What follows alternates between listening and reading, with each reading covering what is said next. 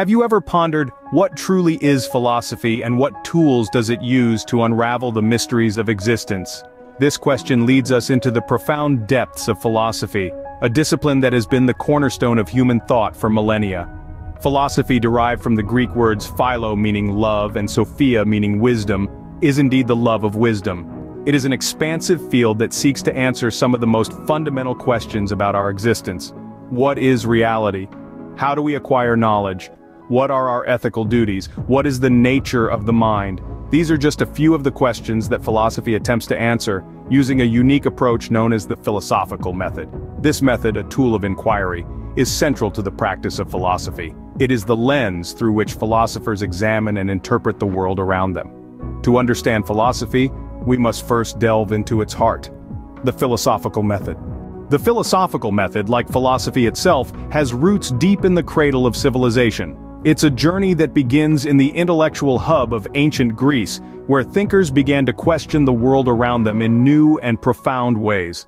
The birth of the philosophical method is often attributed to these curious minds who dared to challenge the status quo and pursue a deeper understanding of life and existence. One such mind was Socrates, a figure synonymous with philosophy, who pioneered an early form of philosophical inquiry known as the Socratic method. This method is characterized by a dialogue between individuals, where one person poses a question and the other responds, leading to further questions and deeper insights. The Socratic method encourages critical thinking, stimulating intellectual curiosity, and fostering a spirit of inquiry. But the philosophical method didn't stop evolving with Socrates. As centuries passed, it absorbed elements from other disciplines, enriching its framework and broadening its scope. Logic, for instance, became an integral part of the method, offering a structured approach to reasoning and argument. Rhetoric, too, played a role, enhancing the art of persuasion and communication within philosophical discourse. As we trace the evolution of the philosophical method, we see a remarkable journey of intellectual exploration, from the dialogues of Socrates to the logical structures of Aristotle, from the meditations of Descartes to the critiques of Kant, the method has been a dynamic, adaptable tool in the hands of philosophers. It has served as a compass, guiding them through the labyrinth of ideas, aiding them in their quest for truth, and helping them articulate their insights in a coherent and compelling manner. From its embryonic stage in ancient Greece, to its maturity in the modern era, the philosophical method has been an evolving tool in the hands of philosophers. It's a testament to humanity's relentless pursuit of knowledge and understanding, a beacon that continues to illuminate the path of intellectual discovery. As philosophy evolved, so did its methods. Welcome to the modern philosophical method. In this era, philosophy has adopted a more systematic approach. The modern philosophical method is now characterized by three key tools, critical thinking, logical analysis, and conceptual clarification. Let's delve into each of these a bit more. Critical thinking, first and foremost, is the ability to question. It's about challenging the status quo, the assumptions, and the accepted norms. It's about asking why and how, and not settling for the just because. Philosophers use this tool to dig deeper into the roots of our beliefs and to peel back the layers of our understanding. Next up is logical analysis. This involves dissecting arguments, examining their structure, and evaluating their validity. It's about identifying fallacies, spotting inconsistencies, and challenging faulty reasoning. Through logical analysis, philosophers seek to ensure that our beliefs are not just deeply held, but also logically sound. And finally, we have conceptual clarification. This is about defining and refining our understanding of concepts. It's about exploring the different facets of an idea, untangling its complexities and breaking it down into its most basic elements. This tool helps philosophers to clear up ambiguities and to bring more precision to our thinking. Together, these tools form the backbone of the modern philosophical method. They enable philosophers to question assumptions, clarify concepts, and explore possible solutions to philosophical problems. They help us to navigate the labyrinth of our thoughts, to make sense of the chaos and to find our way to clarity. But, the beauty of the modern philosophical method is that it's not confined to the realm of philosophy.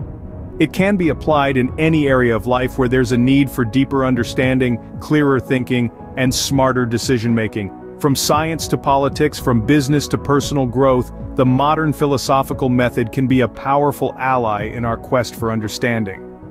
The modern philosophical method is not just a tool for philosophers, but a powerful ally in our quest for understanding. Now that we understand what the philosophical method is, let's see it in action. Our first example takes us deep into the realm of metaphysics, where philosophers ponder the nature of reality. To explore this question, philosophers use the philosophical method to challenge assumptions and delve into the abstract. They might begin by defining what they mean by reality. Is it the physical world we perceive with our senses? Or could it also include non-physical entities like thoughts, emotions, or even mathematical concepts?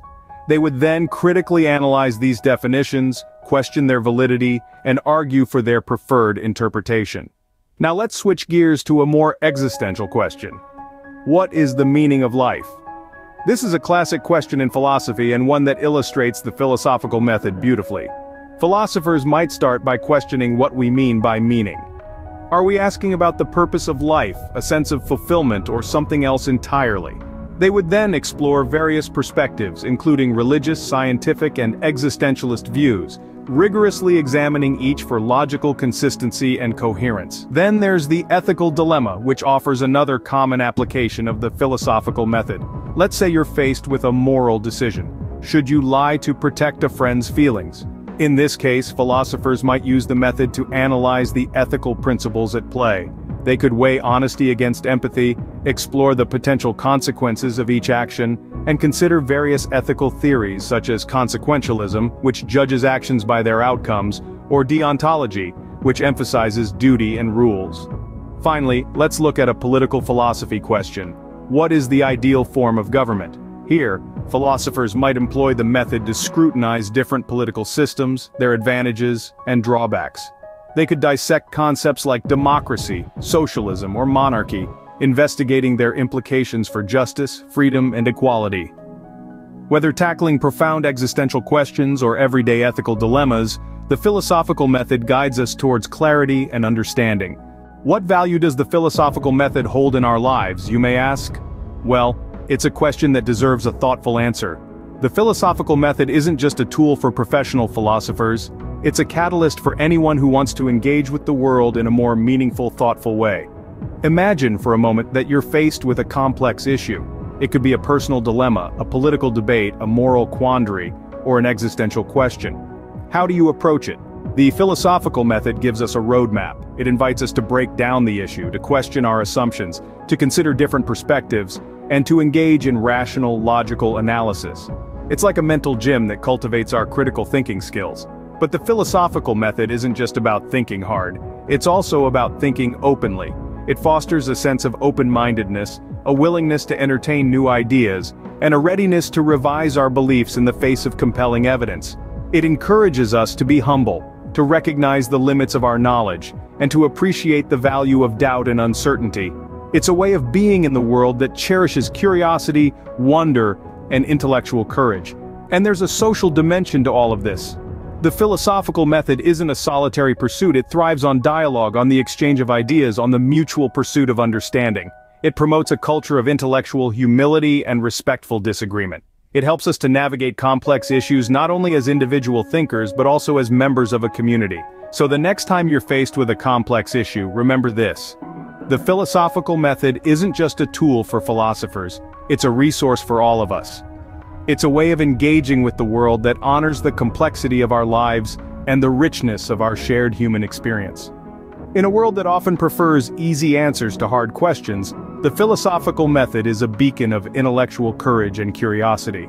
So, we've journeyed from ancient Greece to the present, exploring the philosophical method along the way, We've seen how this method, born in the minds of thinkers like Socrates, Plato and Aristotle, has evolved over centuries, adapting to the changing needs of human inquiry.